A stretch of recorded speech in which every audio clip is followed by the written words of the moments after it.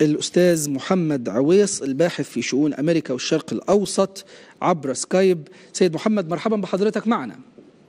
مرحبا بكم وشكرا على هذه الاستضافة. حياك الله. يعني قراءة حضرتك سريعا فيما أشار إليه وزير الخارجية الأمريكي مايك بومبيو من أنه ترامب بات قاب قوسين أو أدنى من إعلان بنود ما يسمى إعلاميا ويتداول بصفقة القرن. منذ مؤتمر العار الذي عقد في البحرين ثبت أن صفقة القرن غير ذاهبة إلى أي مكان. وأمس يعني أو أول أمس عندما خرج علينا الرئيس ترامب وقال أن جيسون جرين بلات وهو رجل ترامب الأول كان محامي عند ترامب لمدة 20 سنة كان يعمل عند ترامب.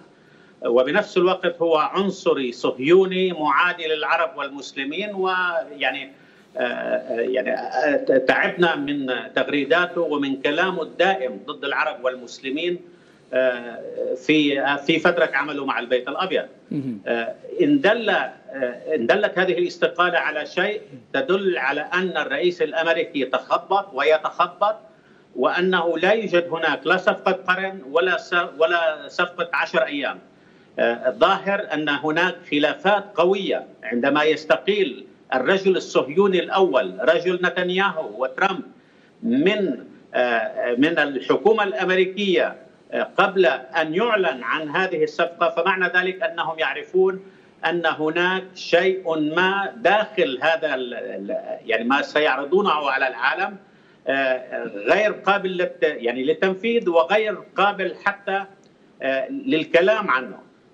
هم حاولوا عدة مرات أن يستقطبوا عدة دول عربية من أجل أن يكونوا رأس الحربة رأس حربة إسرائيل في المنطقة. لحد الآن لم ينجحوا إلا يعني إلا مع دويلة الإمارات العربية المتحدة التي تتآمر على العرب والمسلمين منذ فترة طويلة، يعني أنا هنا في أمريكا وأعرف عن تصرفاتهم وعن تدخلاتهم في القضية الفلسطينية. وفي عملية السلام ودائما يتآمرون.